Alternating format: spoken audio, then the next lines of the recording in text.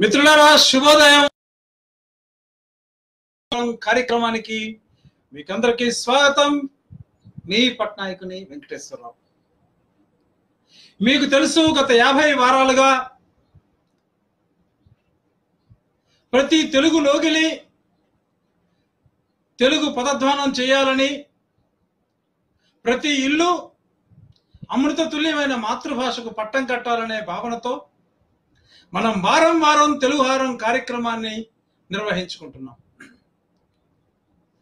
ఇందులో భాగంగా ఈనాటి యాభై ఒకటో వారం కార్యక్రమానికి మిమ్మల్ని అందరినీ మరొక్కసారి స్వాగతిస్తున్నాను. తెలుగును జపించు భాషను బతికించు. అమ్మఒడి భాషకు గుడి. తెలుగును చెప్పించు భాషను బతికించు. అమ్మ ఒడి భాషకు గుడి.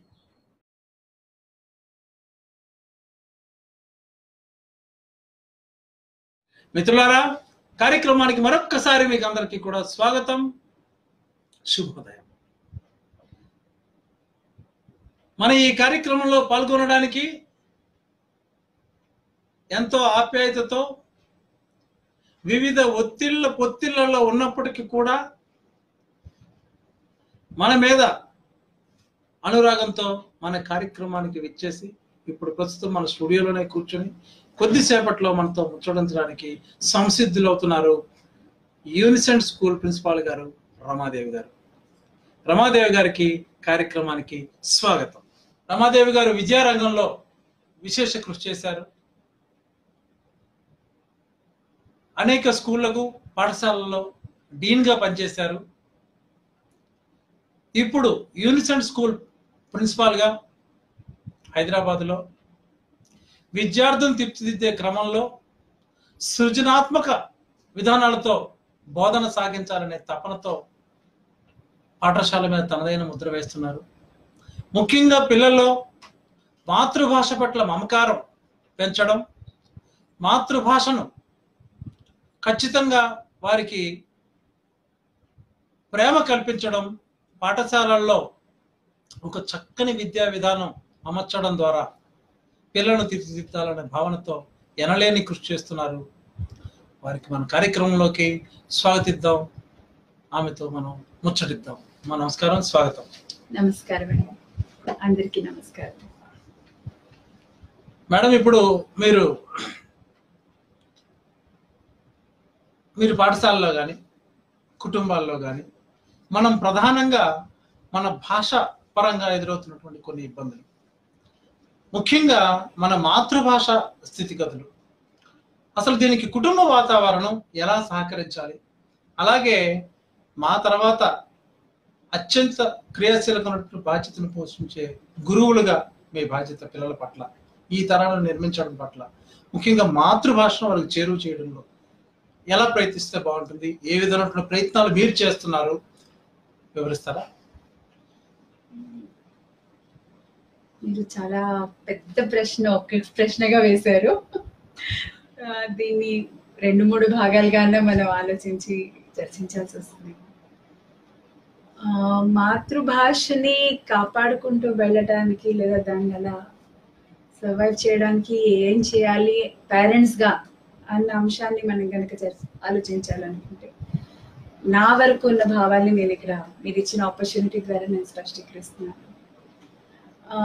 ఒక పర్టికులర్ ఫేజ్లో ఇప్పుడు మనమంతా కూడా ఇంగ్లీష్లో మాట్లాడుతున్నాము గ్లోబల్ సిటిజన్స్గా అయ్యాము అక్రాస్ ద వరల్డ్ డీల్ చేయగలుగుతున్నాము కమ్యూనికేట్ చేయగలుగుతున్నాము.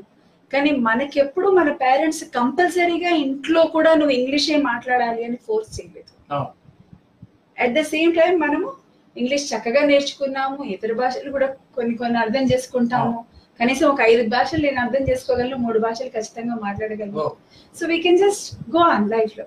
కానీ ఒక ట్రెండ్ అనేది ఒక టూ డికేట్స్గా ఏమైపోయి ఉండిందండి? ఇంగ్లీష్ మాట్లాడితేనే మనం మంచి గొప్ప మంచి చాటుకోవడానికి ఆంగ్ల భాష ఆంగ్ల భాష కారణమని. ఇంట్లో ఆంగ్లంలో మాట్లాడితేనే నా పిల్లాడికి ఆంగ్లం బాగొస్తుందని రేపటి రోజు విదేశాలకు వెళ్ళడానికి కానీ వాడికి సెట్ అవుతాడని. ఇలాంటి అపోహల వలన కొన్ని ఫ్యామిలీస్లో వాళ్ళ మదర్ టంగ్ మర్చిపోయి. ఇంగ్లీష్ నే బేస్ లాంగ్వేజ్గా మార్చుకున్న ఫ్యామిలీస్ కూడా చాలా ఉన్నాయి అంటే కుటుంబ భాష ఒకప్పుడు మన తెలుగు అయినప్పుడు కూడా దాని ప్రత్యామ్నాయంగా ఆంగ్లం. ఆంగ్లం చేరిపోయింది చేరిపోయింది. దాంట్లోకి ఆంగ్లం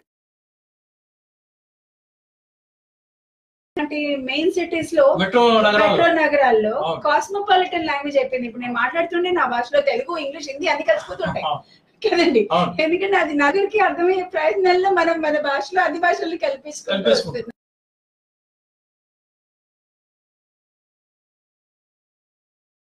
కలిపేశారు బికాస్ ఒక ఇంగ్లీష్ మూవీ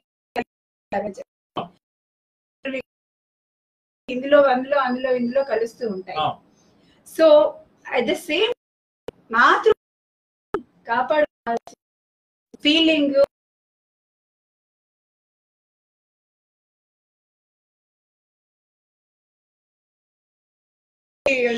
తెలుగు భాషని చాగంటి గారు ఈ వాట్సాప్ లాంటి వాటి ద్వారా ఆధునిక మాధ్యమాలు మంచి కొంత ఆధునిక మాధ్యమాల సహకరిస్తాయి. వల్ల కూడా ఇలాంటి వాళ్ళ స్పీచెస్ వింటూ కూడా తెలుగుకి కొంచెం అంటే మీరు అనేకమైనటువంటి పిల్లల్ని తీర్చిదిద్దే క్రమం అలాగే మీకు తల్లిదండ్రులతో మంచి సంబంధాలు ఉంటాయి. వాళ్ళ భావాలు కూడా మీకు అలాగే పిల్లల్ని మీరు మాకంటే ఎక్కువ కూడా మీరు రోజంతా వాళ్ళతో గడుపుతారు. అసలు వీళ్ళని మనం ఈ మాతృభాష వైపు నమ్మకాన్ని పెంపొందించడానికి కానీ లేకపోతే వాళ్ళ వ్యక్తిత్వ నిర్మాణంలో మాతృభాష కూడా ఒక భాగమే అని చెప్పడానికి కానీ ఎలాంటి ప్రయత్నం మీరు చేస్తున్నారు అసలు మీ ఆలోచన? పిల్లలకు వచ్చేసరికి ఒక ప్రిన్సిపల్గా నేను ఎలా చేస్తున్నాను అంటే బేసికలీ మాతృభాష అనేది ఎవరి మాతృభాష వాళ్ళు మర్చిపోకూడదు. ఈ విషయాన్ని నేను పేరెంట్స్ మాట్లాడటానికి వచ్చినప్పుడు కూడా చెప్తూ ఉంటానండి. అడ్మిషన్ ఎంట్రీ లోవర్ క్లాసెస్లో చేర్చేటప్పుడు తెలుగు పేరెంట్స్ అయి ఉండి ఒక ఫిఫ్టీ పర్సెంట్ పేరెంట్స్ అన్న ఇంతకు ముందు హిందీ వెళ్తూ అనేవాళ్ళు. ఎందుకు అంటే ఇంట్లో తెలుగు ఎలాగో మాట్లాడతాం కదా మేడం బాగుంటుంది అంతకు మించి ఒక విధంగా అది మన తెలుగు వాళ్ళ ఉదారమైన ఆలోచన విధానం అని చెప్పాలి. అన్ని భాషలు నేర్చుకోవాలి. పిల్లల్ని. సో. ఇట్స్ వాళ్ళ వైడర్ థింకింగ్ బహుశా మన వాళ్ళకి మన ఇండియన్స్కు ఉండే అది ప్రైడ్ క్వాలిటీ. అని చెప్పాలి చెప్పుకోదగ్గ అయితే వాళ్ళకు నేను ఎలా చెప్పాల్సి వస్తుంటుందంటే మాతృభాష అన్నది వాళ్ళ ఎల్టుగానే తీసుకున్నారు అనుకోండి ఒక పదం రాకపోయినా తడబడిన వాడుక భాషల నుంచి వాడేస్తారు రేపు పదో తరగతి వెళ్ళే వరకు. సో వాళ్ళకి వేరే వేరే సబ్జెక్ట్స్ నేర్చుకునే ప్రెషర్లో లాంగ్వేజ్ కూడా ఒక ప్రెషర్ అవ్వదు. రెండోది ఇంట్లో మాట్లాడటానికి వస్తే చాలని మీరు అనుకుంటున్నారు. కానీ దొరక దొరక ఏ తాతో రాసి పెట్టిన ఒక జాతకమో? అవును లేకపోతే మీ ఇంటి సాంప్రదాయ పద్ధతుల విషయంలో ఒక పండక్కి చేయాల్సిన ఒక పర్వం పద్ధతిలో వాళ్ళ. అమ్మమ్మ నాన్నమ్మ రాసిన ఒక చీటీనో దొరికితే ఇది నాకు ఎలాగో అర్థం కాదని అది యూట్యూబ్లో దొరకచ్చు దొరకపోవచ్చు వాళ్ళ పర్టికులర్ ఇంటి పద్ధతిలో. సో అది మరుగున పడిపోతుంది. సో నీ సాంప్రదాయం కూడా మరుగున పడుతుంది లేదా కన్ఫ్యూజ్ అయిపోతాం. ఒరిజినాలిటీకి వెళ్తేనండి అదే కాస్ట్ అదే ఆంధ్రలో కూడా. అదే ఫ్యామిలీస్లో ఒక్కొక్క ఇంటికి ఒక్కొక్క పద్ధతి. సో ఆ పద్ధతులు కొన్ని మనం మిస్ అయిపోయే పరిస్థితులు దూరం. అయిపోయే పరిస్థితులు ఉంటాయి. పద్ధతులు రిజిడిటీ తేవండి. పద్ధతులు ఒక టైప్ ఆఫ్ బాండింగ్ ఏర్పడతాయి సో అవి వెళ్ళిపోతాయి.